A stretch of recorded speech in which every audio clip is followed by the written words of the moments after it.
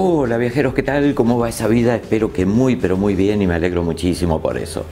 El tema de hoy, a raíz de muchos comentarios que he ido recibiendo, es si estás planificando un viaje desde tu país, vamos a suponer que tú eres ecuatoriano y quieres volar desde Quito a Montreal o Toronto en Canadá, ver si realmente te sale a cuenta, por muy barato que sea, utilizar una línea estadounidense. Sabemos que a la hora de hacer una conexión de vuelos o mal llamada escala en Estados Unidos, tendrás que pasar migraciones, aduanas y una serie de trámites que es una pérdida de tiempo y de dinero. Por eso te quiero hacer este vídeo, para que puedas calcular a ver si esa diferencia de precio de pasaje realmente justifica. Así que bueno, vamos a la presentación y empezamos.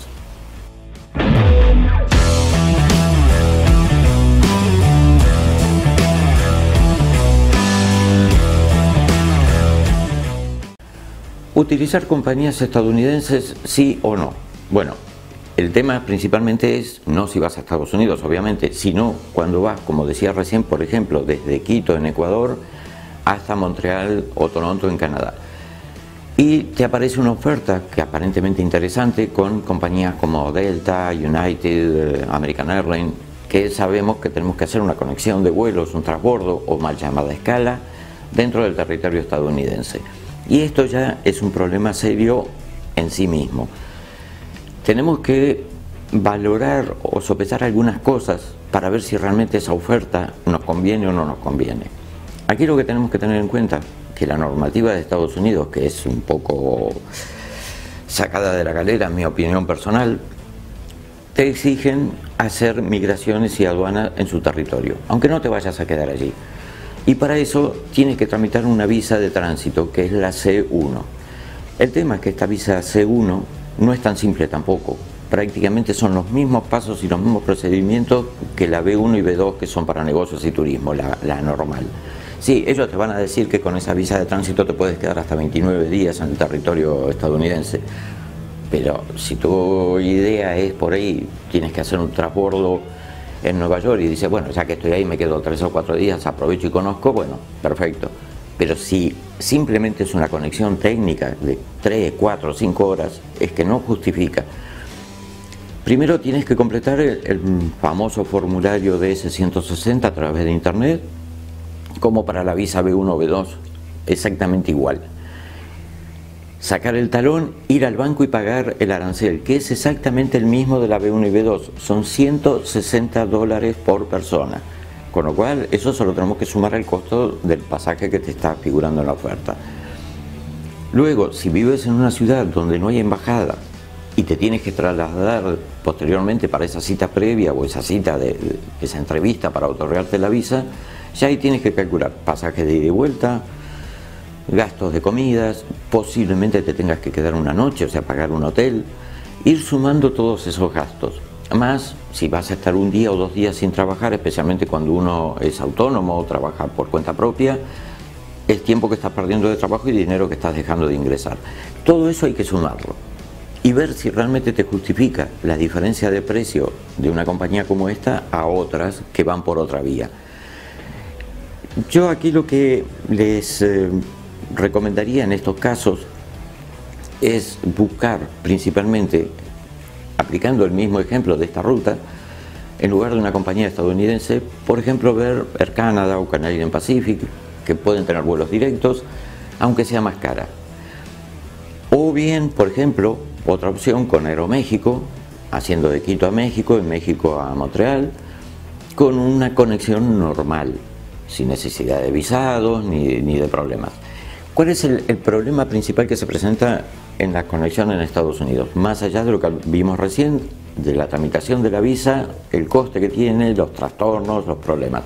Vamos a suponer que te la dan sin ningún tipo de inconveniente. La visa, como cualquier otra visa, no garantiza la entrada al territorio de Estados Unidos. simplemente te permite llegar hasta migraciones. Después va a depender del oficial de migraciones de lo que él vea, lo que él considere, el estado de ánimo que tenga ese día, si te admite o te niega la entrada. Si estás en tránsito y te niegan la entrada, te han cortado el viaje a mitad de camino. Tendrás que volver a tu país. Y es un problema. De todos modos, si te admiten que es lo más normal, lo más habitual, si tu equipaje fue facturado hasta destino, bueno, ya ahí te ahorras un problema, porque no tienes que esperar en la cinta, retirarlo y demás. Si no fue facturado destino, tendrás que ir a la cinta transportadora y esperar para retirar tu equipaje. De todos modos, aunque haya ido a destino, tendrás una vez que pasaste por migraciones, ir a pasar por aduanas, tu equipaje de mano, que te lo van a revisar y demás. Todo eso es tiempo que se pierde, son colas. En migraciones, si bien tienen una cierta prioridad los pasajeros en tránsito, que los van a hacer adelantar en las colas, pero te vas a perder mínimo una hora tranquilamente y dependiendo de la hora del día que llegues, si hay mucho movimiento o no hay movimiento de pasajeros. En aduanas, otro tanto de lo mismo. Una vez que sales de ahí, si habías retirado tu equipaje, tendrás que ir al mostrador, al counter de la línea aérea, a volver a despacharlo, facturarlo al destino final. Si no lo tuviste que retirar, tendrás que regresar, pasar los controles de seguridad como si comenzaras el vuelo de nuevo, volver a pasar migraciones, y recién ahí a preembarco para esperar la salida del otro vuelo. Con todo esto lo que quiero decir es que tienen que tomarse márgenes muy amplios para no andar corriendo, no andar desesperados. Y siempre en lo probable, en lo posible, perdón, la reserva hacerla toda junta y en un mismo billete, porque si por cualquier demora, porque hay mucha gente y todo se atrasa, pierdes el segundo vuelo, que por lo menos la línea aérea te lo cubra buscándote un lugar en el primer vuelo disponible que también puede ser un problema porque por ahí no es ese mismo día, hay que esperar un día o dos días. De otra manera, si lo llevas por separado, perdiste el segundo y ahí te quedas tirado, tendrás que comprarte otro pasaje de otra compañía. Entonces todo esto tenerlo muy en cuenta porque influye mucho en el coste final y principalmente la tensión nerviosa, los, los nervios, las carreras que uno se manda en el aeropuerto para poder llegar con todos estos trámites que hay que hacer de por medio, que son largos, son complicados, a veces, y como decía recién, si es una hora pico, una hora punta, que te encuentras con muchísima gente, todo se extiende, todo se alarga.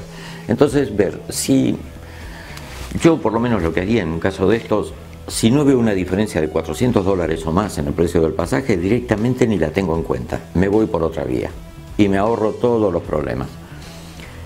Esto es principalmente válido para ciudadanos latinoamericanos. En el caso de los españoles que utilizan el formulario de ESTA, que se completa por internet, es muy simple, Estados Unidos hay a 38 países del mundo que no le pide visa, los miembros de la Unión Europea entre ellos, de los cuales son 28, o sea que el resto del mundo todos tienen que sacar la visa. Eh, como les decía, en el caso de los europeos, simplemente con ese formulario metido dentro del pasaporte, además tienen un sector, una sala independiente en migraciones que pasan junto con los ciudadanos estadounidenses y el trámite es muy, muy sencillito. Pero para los que no tenemos esa posibilidad, hay que tomar márgenes muy amplios y estar dispuestos a correr y a gastarnos un dinero extra.